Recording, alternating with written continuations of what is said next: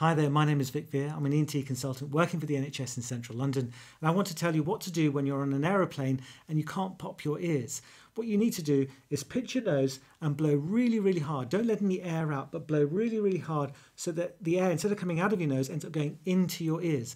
Because the problem is that there's a tube that runs from your nose to your ears that seems to be blocked, particularly if, if you have a cold or a flu just as you're flying.